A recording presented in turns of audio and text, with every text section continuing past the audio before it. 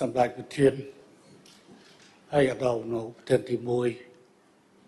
អាដាមនៅប្រធានទី2សម្ដេចព្រះអង្គម្ចាស់ហើយអាដាមលោកជំទាវប្រិយមិត្តបរទេសដែលបានអញ្ជើញចូលរួមនៅក្នុងឱកាសនេះថ្ងៃនេះទូលព្រះបង្គំខ្ញុំសូមឡើងមានមតិ ក្នុងគោលដៅសំខាន់បំផុត គឺការជំរាបលាសភាដែលចាប់ពីថ្ងៃស្អែកនេះទៅ គឺខ្ញុំទូបង្គំខ្ញុំនឹងចាក់ចេញផុតពីសមាជិកសភាលិខិតលាលែងនឹងត្រូវបញ្ជូននៅថ្ងៃស្អែកខ្ញុំគួរតែខ្ញុំទូបង្គំខ្ញុំគួរតែត្រូវរំលឹកថា ខ្ញុំក្នុងការអង្គុយនៅក្នុងសភានេះ គឺមានរយៈពេលជាពាក់កណ្ដាលជីវិត ដោយមានចែកចេញវាពីរដំណាក់កាលដំណាក់កាលទី1គឺនៅខែមិថុនាឆ្នាំ1981រហូតដល់ខែឧសភា ឆ្នាំ1993 គឺមានរយៈពេល12ឆ្នាំក្នុងរយៈពេលនោះនៅពេលដែលខ្ញុំចូលកាន់កាប់ជាសមាជិករដ្ឋសភានោះក្នុងវ័យ29ឆ្នាំហើយធ្វើជាឧបនាយករដ្ឋមន្ត្រីនិងជារដ្ឋមន្ត្រីការបរទេសខ្ញុំក៏សូមយកឱកាសនេះអរគុណចំពោះអតីតសមាជិករដ្ឋសភានៅពេលនោះ ដែលនៅពេលនេះយ៉ាងហោចណាស់មាន4រូបគឺសម្ដេចវិជ័យសនាទាបាញ់ហើយអាដាមឈៀមឌៀបនិងអាដាមខៀវកញ្ញរិទ្ធដែលបានបោះឆ្នោតគ្រប់គ្រងខ្ញុំដែលវាជារឿងចម្លែកការបោះឆ្នោតដ៏សម្ងាត់ប៉ុន្តែខ្ញុំគ្មានបាត់មួយសម្លេងណាសោះនៅពេលនោះខ្ញុំចូលកាត់កាត់ តួនាទីជានាយករដ្ឋមន្ត្រី នៅក្នុងវ័យ32ឆ្នាំប្រៀបធៀបទៅនឹងនាយករដ្ឋមន្ត្រីបច្ចុប្បន្នចូលកាន់កាប់តំណែងនាយករដ្ឋមន្ត្រីនៅអាយុ42ឆ្នាំ ដែលអំបញ្ញមិញគេហៅថា ជាយុវជនដែលមានសក្តានុពល ប៉ុន្តែគេមានអាយុច្រើនជាងខ្ញុំនៅពេលដែលគេចូលកាន់តំណែងជានាយករដ្ឋមន្ត្រីខ្ញុំសូមយកឱកាសនេះអរគុណចំពោះអតីតរដ្ឋសភានៃដំណាក់កាលទី1 1981 1993ដែលបានជួយទៅលើកិច្ចការទាំងឡាយ របស់ខ្ញុំនៅពេលនោះក្នុងឋានៈជាប្រធានក្រុមប្រឹក្សារដ្ឋមន្ត្រីឬក៏ជានាយករដ្ឋមន្ត្រីដែលខ្ញុំសូមគូសរំលេចសំខាន់ទី1គឺការធ្វើវិសោធនកម្មរដ្ឋធម្មនុញ្ញដើម្បីដាក់បន្ថែមសមាជិកភាពសេដ្ឋកិច្ចដើម្បីឲ្យខ្ញុំមានឱកាសជំរុញ ការកែតម្រង់សេដ្ឋកិច្ចពិសេសកំណែតម្រង់ដីធ្លីដែលផ្ដល់ឱកាសឲ្យខ្ញុំបានចុះហត្ថលេខាដើម្បីផ្ដល់កម្មសិទ្ធិជូនប្រជាជនទាំងផ្ទះសម្បែងនៅក្នុងទីក្រុងនិងដីកសិកម្មនៅជនបទនេះជាកំណែទម្រង់ដែលមានចរិតជានយោបាយផងនិងជាសេដ្ឋកិច្ចផង ហើយពេលនោះខ្ញុំនៅចងចាំថាគណៈកម្មការអចំពោះកិច្ចមួយត្រូវបានបង្កើតភ្លាមដោយសម្ដេចប្រធានសភាជាស៊ីបដោយមានរូបខ្ញុំអាដាមខៀវកញ្ញរិទ្ធអាដាមចែបស្គូតនិងអាដាមវ៉ាន់ឌីកននិងលោកជំទាវបុណ្ណាប៉ុន្តែកំណែតម្រង់ដ៏ធំមួយទៀត ដែលនៅទីនេះយ៉ាងហោចណាស់មានសមាជិកគណៈកម្មការម្នាក់ដែលពពេលនោះមិនមែនជាសមាជិកសភាទេគឺសម្ដេចកលាហោមសខេកនោះគឺការដូរឈ្មោះប្រទេសតែម្ដងនៅចាំទេពេលនោះដើម្បីបំរើឲ្យគោលដៅនៃការ បង្រួបបង្រួមជាតិនិងជាតិឈ្មោះទៅរកការកែតម្រង់នយោបាយនិងសេដ្ឋកិច្ចយើងចាប់ផ្ដើមធ្វើការកែរដ្ឋធម្មនុញ្ញរបស់យើងដូរឈ្មោះប្រទេសពីសាធារណរដ្ឋទៅជាមិត្តកម្ពុជា រហូតមកដាក់ជារដ្ឋកម្ពុជាដូរទាំងទុំជាតិថែមទៀតផង ដែលនោះគឺជាការបោកច្រកដ៏ធំសម្រាប់ជំរុញឲ្យកំណែតម្រង់នយោបាយជាពិសេសការជៀតឆ្ពោះទៅរកការដោះស្រាយចំនួនតាមរយៈការចរចាខ្ញុំពិតជាមានការអរគុណចំពោះអតីតសមាជិករដ្ឋសភាចាស់ទាំងអស់ ដែលតែងតែលើកទឹកចិត្តចំពោះខ្ញុំសម្រាប់ទៅលើការចរចាដែលចាប់ផ្ដើមពីការចរចារវាងខ្លួនខ្ញុំជាមួយនឹងសម្ដេចព្រះបរមសេនុព្រះបរមរតនកោដ្ឋដែលចាប់ផ្ដើមពីវេទិកា Fair អង្គតាដណោថ្ងៃ2ធ្នូឆ្នាំ1987 នៅរៀងរាល់ពេលដែលខ្ញុំបានរៀបការជូនសភា ក្នុងពេលដែលប្រជុំបិទទ្វារសភានៅពេលនោះតែងលើកទឹកចិត្តចំពោះខ្ញុំហើយអ្វីដែលសំខាន់បំផុតថែមទៀតគឺសភាមិនបានតត់ចោលនៅការចុះហត្ថលេខាលើកិច្ចប្រព្រៀងប៉ារីនោះទេនេះ ពេលនោះប្រសិទ្ធបើសភាយកកិច្ចព្រមព្រៀងប៉ារីនេះយកមកអនុម័តហើយតតចោលកិច្ចព្រមព្រៀងនេះក៏គ្មាននរណាធ្វើអីបានដែរប៉ុន្តែសភាតែងលើកទឹកចិត្តឲ្យមានការដោះស្រាយតាមរបៀបនោះនៅក្នុងរយៈពេលអន្តរកាលទោះបីមានវត្តមានយូរទៅវិញបន្តទៅមានវត្តមាន របស់អ៊ុនតាប៉ុន្តែរដ្ឋសភានៃអតីតរដ្ឋកម្ពុជា នៅតែធ្វើសកម្មភាពបានពេលនោះអ៊ុនតាបានត្រួតពិនិត្យទៅលើស្ថាប័ន5ការពិជាតិមហាផ្ទៃយុទ្ធធរព័ត៌មាននិងហេរ៉ៃវត្ថុប៉ុន្តែសភាជាតិនៅតែអាចបំពេញតួនាទីបាន អ្វីដែលសំខាន់នៅពេលនោះខ្ញុំបានទទួលសំណូមពរពីអ៊ុនតាដើម្បីបង្កើតឡើងនៅសាលាអូតូតឡាការរបស់យើងចំនួនរដ្ឋកម្ពុជា គឺមានសាលាដំបូងនិងតឡាការកំពូលក៏ប៉ុន្តែដើម្បីឲ្យស្របជាមួយនឹងការរៀបចំនឹងការចាប់បានរបស់អ៊ុនតា យើងបានស្នើសុំសភាកោះប្រជុំដើម្បីបង្កើតនៅសាលាអូតូបន្តទៅយើងបានឈានទៅដល់ការបោះឆ្នោតដែលរៀបរៀងដោយអ៊ុនតាខ្ញុំនៅចាំបានថា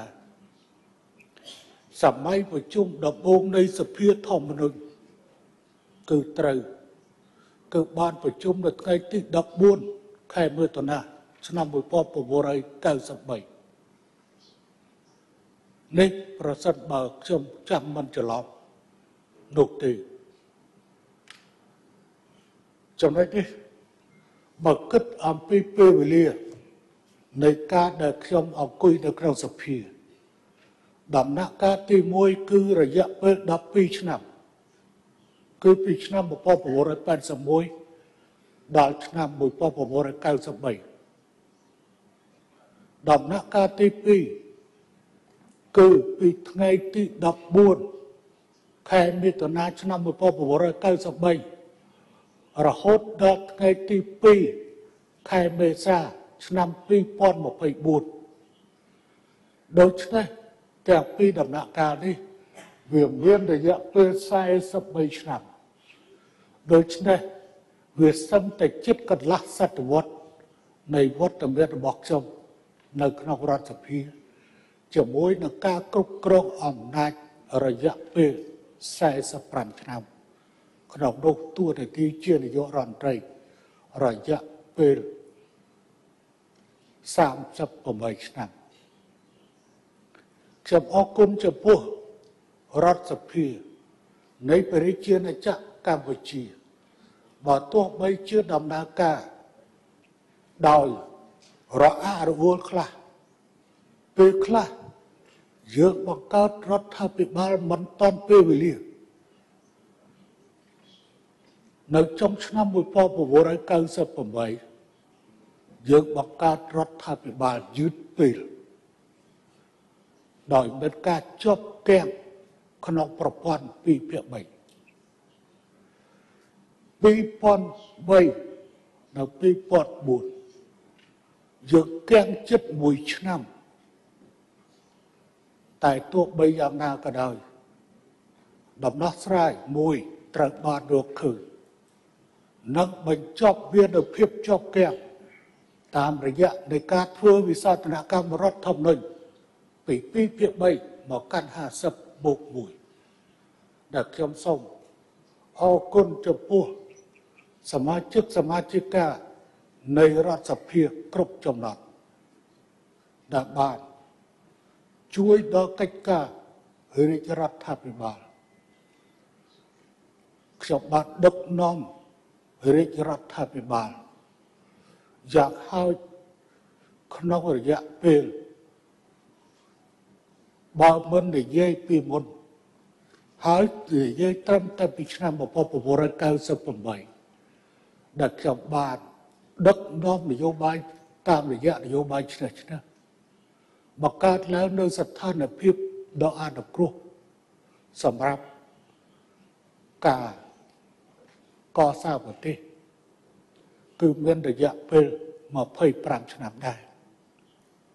សន្តិភាពយើងមានរយៈពេល25ឆ្នាំអញ្ចឹងទេខ្ញុំសូមអរគុណចំពោះសម្ដេច ព្រះអង្គម្ចាស់ហើយអាដាមលោកជាសមាជិកសមាជិកានៃរដ្ឋសភាអរគុណគ្រប់យ៉ាងដែលបានគ្រប់គ្រងចំពោះរូបខ្ញុំហើយឥឡូវក៏បានបន្តគ្រប់គ្រងទៅដល់ចំណន់ថ្មីដែលកំពុងធ្វើការដឹកនាំរាជរដ្ឋាភិបាលពួកយើងខ្ញុំចំណន់ចាស់មកអង្គុយជាសមាជិករដ្ឋសភានៅទីនេះ ប៉ុន្តែខ្ញុំជាមួយអាយដាមប្រាក់សុខុនថ្ងៃនេះមិនមានវត្តមានទេត្រូវចាក់ចេញពីរដ្ឋសភានៅត្រឹមថ្ងៃស្អែកប៉ុន្តែសូមបញ្ជាក់ថាខ្ញុំមិនបានលាអ្នកទាំងអស់គ្នាជារៀងរហូតដោយមកជួបនោះទេយមរាជមិនតន់ត្រូវការខ្ញុំទេ មានតែប្រអិនមួយគត់ដែលមានសិទ្ធិអាកាត់ ជីវិតរបស់ខ្ញុំដល់ពេលណាយមរាជគ្មានសិទ្ធិយកខ្ញុំទៅឋាននរកទេការចាក់ចែងរបស់ខ្ញុំទៅបំពេញមុខងារមួយផ្សេងទៀតហើយយើងក៏អាចមានវាសនានឹងជួបគ្នានៅទីនេះម្ដងទៀតប្រសិនបើសភាពការតម្រូវនោះគឺសមាជព្រឹទ្ធសភានិងរដ្ឋសភា ពេលសមាជរដ្ឋសភានិងព្រឹទ្ធសភាច្បាស់ណាស់ថាខ្ញុំនឹងវិលត្រឡប់មកទីនេះហើយខ្ញុំក៏គួរតែបញ្ជាក់ថាដោយសារតែប្រព័ន្ធបោះឆ្នោតនៅកម្ពុជាគឺជាប្រព័ន្ធសមមាត្រតាមខេត្តដូច្នេះបើទោះបីខ្ញុំមិននៅក្នុងរដ្ឋសភា ប៉ុន្តែខ្ញុំនៅតែមានសិទ្ធិចុះហត្ថលេខាដើម្បីរៀបចំក្បាលម៉ាស៊ីនរដ្ឋសភាដើម្បីរៀបចំសមាជិករដ្ឋសភាឬគណៈកម្មការនានាតាមសំណើរបស់ប្រធានគណៈបកដូច្នេះខ្ញុំមិនលូកលាន់កិច្ចការរបស់រដ្ឋសភាទេក៏ប៉ុន្តែច្បាប់បានតម្រូវឲ្យប្រធានគណៈបកជាអ្នកអន្តរសញ្ញាអ្នកណាត្រូវធ្វើអីអ្នកណាត្រូវធ្វើអីអញ្ចឹងទេ សមាជិករដ្ឋសភាទាំងអស់ក៏មិនតាន់ផ្ដាច់ចេញពីតួនាទីរបស់ខ្ញុំនៅឡើយដែរទេនិយាយយ៉ាងនេះមិនមែនសំដៅថានឹងបណ្ដេញសមាជិកសភាណាម្នាក់ចេញពីគណៈបកដើម្បីយកកៅអីទេខ្ញុំមិនធ្វើយ៉ាងដូចនោះទេអ្នកទាំងឡាយអង្គគណៈបកប្រជាជនមានវិន័យនិងរបៀបធ្វើការ ដោយការយោគយល់និងសាមគ្គីភាពខ្ញុំសូមអរគុណហើយថ្ងៃនេះក៏សូមប្រកាសបកគលនៅការិយាល័យរបស់នាយករដ្ឋមន្ត្រីនៅក្នុងសភានេះជូនទៅរដ្ឋសភាដើម្បីរដ្ឋសភាបកគលទៅនាយករដ្ឋមន្ត្រីថ្មីអរគុណចំពោះសម្ដេចប្រធានសភាដែលក្នុងរយៈពេល7ខែនេះ គឺមិនបានដកហូតយកការិយាល័យរបស់ខ្ញុំសម្រាប់ក្នុងនាមខ្ញុំជានាយករដ្ឋមន្ត្រីទោះបីខ្ញុំអស់នាទីជានាយករដ្ឋមន្ត្រីក៏ប៉ុន្តែមិនបានយកការិយាល័យនោះផ្ដល់ឲ្យនាយករដ្ឋមន្ត្រីថ្មីទេតែខ្ញុំសូមបកគលបតិចទៀតខ្ញុំនឹងទៅលាការិយាល័យអត់ខ្ញុំចាក់ចេញហើយខ្ញុំផ្ដល់ជូនដើម្បីរៀបចំឲ្យ នាយករដ្ឋមន្ត្រីថ្មី គេធ្វើការនៅទីនោះ គេប្រជុំនៅទីនោះ គេទទួលភ្ញៀវនៅទីនោះអរគុណគ្រប់យ៉ាងចំពោះសម្ដេចព្រះអង្គម្ចាស់ឯកឧត្តមលោកជំទាវអរគុណប្រិយមិត្តបរទេសដែលបានស្ដាប់ហើយសង្ឃឹមថាអ្នកដែលបង្រៀនអំពីកិច្ចព្រមព្រៀងប៉ារី ប្រហែលជាអាចនឹងចងចាំបានខ្លះជាពិសេសប្រព័ន្ធបោះឆ្នោតតើរឿងនេះខ្ញុំគួរតែត្រូវនិយាយបន្តិចដើម្បីកុំឲ្យអ្នកភូតចេះតែភូតបន្តមិនយល់ដឹងអំពីកិច្ចព្រមព្រៀងប៉ារីនៅទីនេះហើយបំផុតមានខ្ញុំនិងសម្ដេចប្រជ័យសេនាទៀបាញ់ ជាហត្ថលេខីនៃកិច្ចព្រមព្រៀងប៉ារីប្រព័ន្ធបោះឆ្នោតសមាមាត្រនៅកម្ពុជា គឺជាប្រព័ន្ធរូបមន្តរបស់ខ្ញុំរបស់រដ្ឋកម្ពុជាភាគីរដ្ឋកម្ពុជា ប្រព័ន្ធដែលប្រទេសធំ បានរៀបចំតាក់តែងនៅក្នុងពង្រៀងកិច្ចព្រមព្រៀងប៉ារីសគឺប្រព័ន្ធសមបត្តិទូទាំងប្រទេស ក៏ប៉ុន្តែក្នុងគោលដៅនៃការ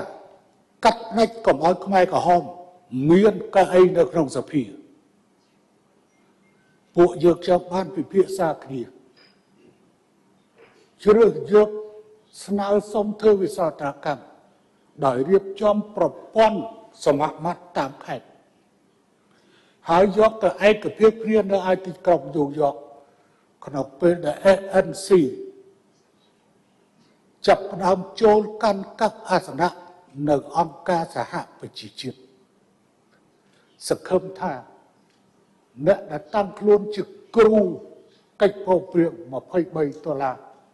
នឹងចាប់យកចំណុចនេះឲ្យបានកុំឲ្យបង្រៀនខុសក្បួនបង្រៀនខុសក្បួនរឿងវាបែបនេះខ្ញុំនិយាយលើសបន្តិចហើយ ហើយសូមអភ័យទោសហើយសូមជូនពរសម្ដេចព្រះអង្គម្ចាស់ជូនពរនិងថ្វាយពរចំពោះសម្ដេចព្រះអង្គម្ចាស់ឯកឧត្តមលោកជំទាវសូមប្រកបដោយពុទ្ធពរនិងពោទាំង5ប្រការអាយុវណ្ណៈសុខៈពលៈនិងបរិពេណៈកុំបីគ្រឿងក្លោសូមអរគុណ